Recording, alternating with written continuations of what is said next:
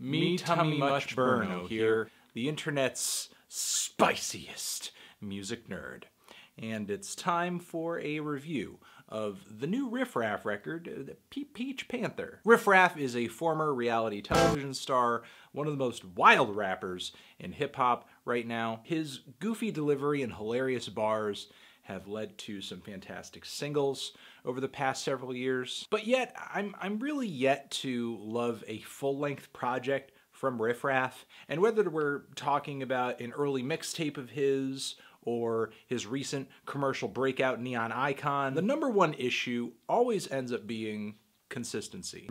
You can always count on Riff Raff to drop at least a couple catchy, very colorful bangers. Even in the case of this record, we had tracks like 4 Million. Previously, I loved uh, Wetter Than Tsunami, Tip Tiptoeing in My Jordans, or How to Be the Man. But then, usually deeper into the track list of a Riff Raff project, we might have uh, a hideous auto-tune ballad or two, or maybe even a, a, rap rock mutation like the song Cocaine. So with Peach Panther, I was hoping for just a little more consistency with Riff Raff, and in a way I got it, because there isn't anything on this project that's so outlandish that it's obnoxious. I think the closest Riff Raff comes to doing that is on the song Syrup Sippin' Assassin, which is an auto-tune ballad, very spacey, very woozy, but what bothers me about the track is that it's so underwhelming. Uh, Riff Raff himself says on the song that he's uh, sipping so much codeine he's about to fall asleep. Don't know why. You could just listen to this track and fall asleep. So it's almost like the problem I've had with a full-length Riff Raff project in the past has just been flipped. Instead of all these garish tracks that I can't stand to listen to because they're annoying, uh, I'm getting these songs that are just dreadfully boring. There's some serious snoozers in this track list, like Chris Paul and all I ever wanted, just no oomph on these cuts. And even some of the harder hitting tracks, while they're not exactly uh, auditory ambient, I wouldn't call them exciting either, uh, namely the song Only in America, which I think has one of the worst and most awkward hooks on the entire project.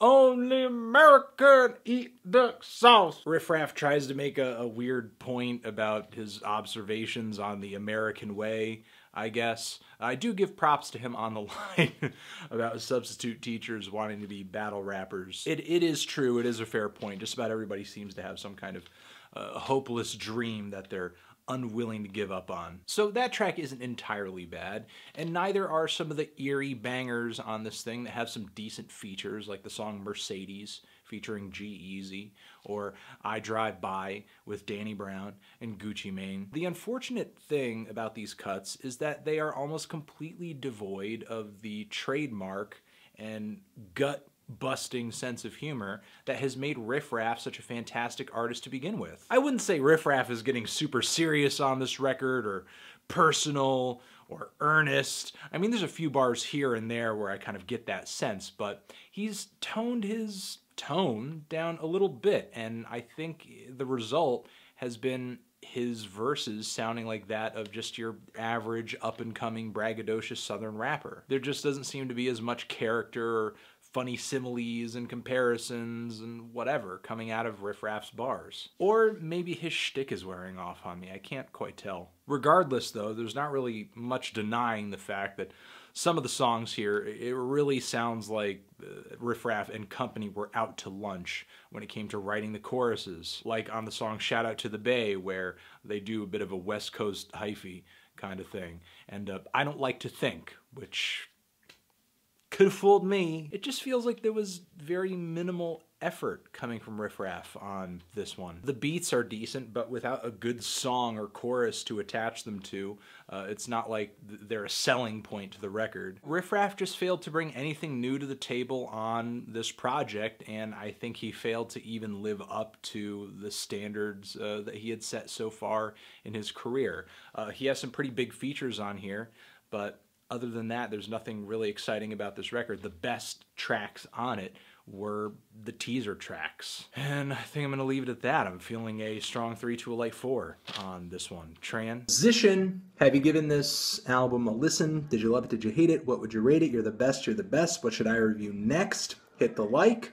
If you like, please subscribe. And please don't cry if you happen to disagree with my review on this record. Though you can voice a comment down in the comment section if you want to tell me that you hate me and you was dead.